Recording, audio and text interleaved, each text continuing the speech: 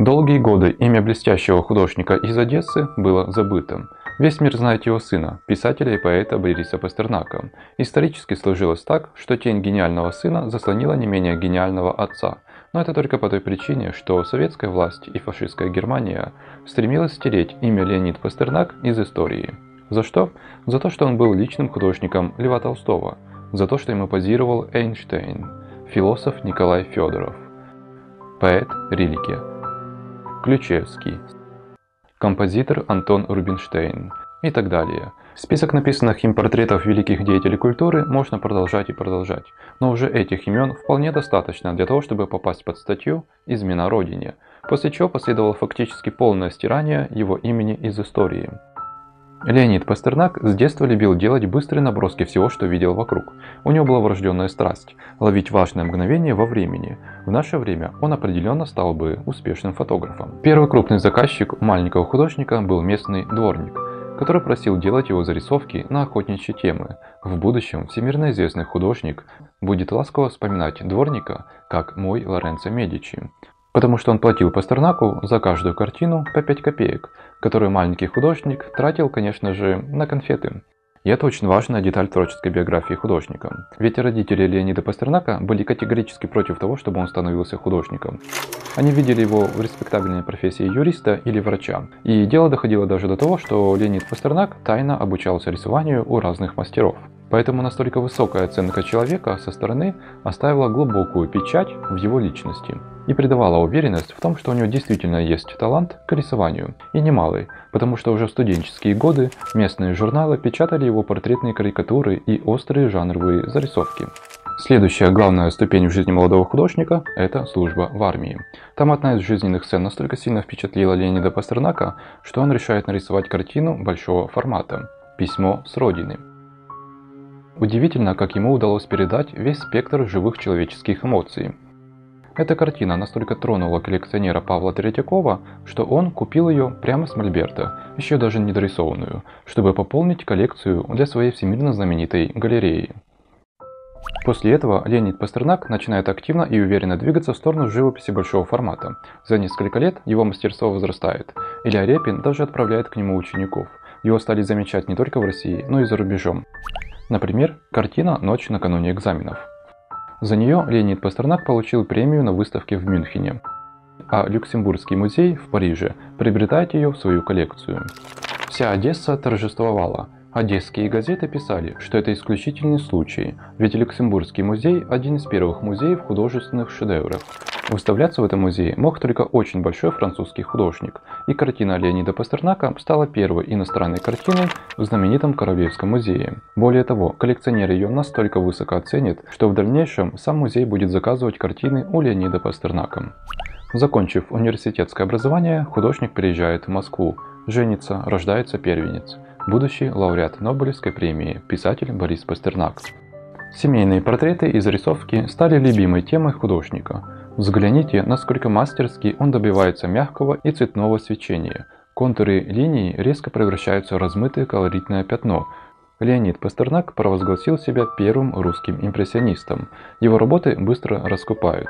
Он открывает в Москве одну из первых частных школ живописи с совершенно новым методом преподавания, как в Мюнхене и как в Париже, где и учился. Впоследствии училища живописи введут эту методику в свою программу. Пастернак сближается с бунтарским кружком Василия Поленова, куда также входил Валентин Серов, Левитан и Врубель. Участники этого кружка пропагандировали свободу в искусстве. На этом этапе в 1900-х годах Леонид Пастернак противоставляет себя движению передвижников, в котором ранее как бы состоял, но как-то не очень. Художники-передвижники, тоже бунтари, вели просветительскую деятельность против академической живописи, которую по традиции учат в университетах. Ну и все такое, это очень долгая отдельная история. Если говорить кратко, то Леонид Пастернак синтезировал опыт русской традиции с современными европейскими школами живописи, которые не идут дальше импрессионизма. У него был для этого достаточный уровень образования, так как все заработанные деньги тратил на путешествия и на обучение на Западе, и в этом уникальность его стиля. На одной из выставок художников-бунтарей произошла знаковая встреча. Лев Толстой лично знакомится с Леонидом Пастернаком. Писатель признается, что давно следит за творчеством художника и приглашает его к себе в гости. Так рождается серия семейных портретов Толстых. Кроме того, Пастернак стал одним из лучших иллюстраторов книг Льва Толстого. За иллюстрации к роману «Воскресенье» Пастернак даже получил медаль на Всемирной выставке в Париже. Многолетняя дружба с писателем оставила неизгладимый след в жизни художника. Его даже стали называть зеркалом Льва Толстого. И это действительно так, потому что вся жизнь Пастернака была проникнута толстовским учением, стремлением к нравственному совершенству и правде в искусстве. Они оба считали свое творчество как некое переосмысление движения жизни, которое фиксировалось разными творческими инструментами. Один использовал слова, а другой использовал краски. У Пастернака совершенно индивидуальная и очень узнаваемая среди других импрессионистов манера фиксации впечатления. Он пытается уловить таинственный момент человеческого существования, когда повседневная жизнь переходит в состояние тишины, гармонии и мира. Он пытается передавать через живопись интимность и музыкальность, которую дает именно искусственный свет лампы или свечей. Картину Толстой с семьей в Ясной Поляне покупает князь Георгий Александрович, а другой князь, Сергей Александрович, лично утверждает кандидатуру Леонида Пастернака на пост профессора Московского училища в живописи. Самое главное, что здесь нужно знать, это то, что Леонид Пастернак был более модернистом, чем другие русские модернисты, и при этом менее модернист, чем молодые модернисты. То есть, несмотря на то, что он по натуре своей был новатор и бунтарь, он вообще не догонял авангард. Он учился бою в живописи, и одновременно с этим своим студентам, всяким там Малевичам с их черным квадратом, ставил жирные двойки. А это всех напрягало, потому что Пастернак ни с теми, ни с другими, сам по себе. При этом все, конечно, считаются с его опытом и профессионализмом. Очевидно, вот эту многогранность личности и балансировку на краю мышления поколения и оценил князь Сергей Александрович, когда ставил его профессором училища живописи. Но время идет. Настал 1917 год, Октябрьская революция, гражданская война. Князей, аристократию и ближе стоящих вырезают как класс. Семья Пастернаков по понятным причинам эмигрирует в Германию. В Москве остались только сыновья Александр и гениальный поэт Борис Пастернак, которого советское правительство и коллеги-завистники будут с особым удовольствием травить и подвергать гонениям. В Берлине Леонид Пастернак писал портреты крупных деятелей эпохи, науки и культуры, участвовал в выставках и в разных проектах. В то время в Германии было много эмигрантов из Советской империи, и у них была идея создания русской среды на германской земле. Тогда же Пастернак уже на склоне лет очень сильно заинтересовывается темой евреев в истории искусства. Он очень много работает и выпускает большую монографию «Рембрандт и еврейство» в его творчестве.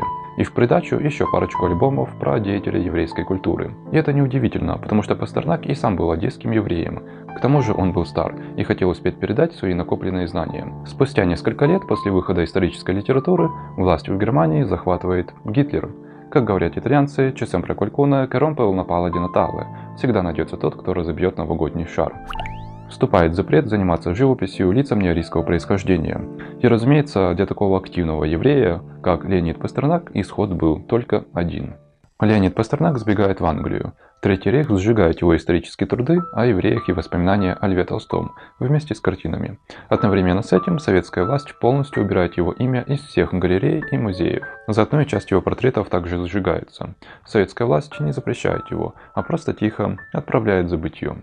Да и сегодня Леонид Пастернак все еще неизвестен широкой публике. О нем кое-как знают поклонники творчества его сына, Бориса Пастернака. Эти воспоминания, что у нас есть, остались благодаря постоянному, упорному, буквально пробивному труду по воскрешению памяти о нем его дочками и внуками. Ну а теперь наша с вами очередь оживлять память о нем и знакомить широкую аудиторию с художником, который когда-то был мостом, первым русским художником в европейских музеях.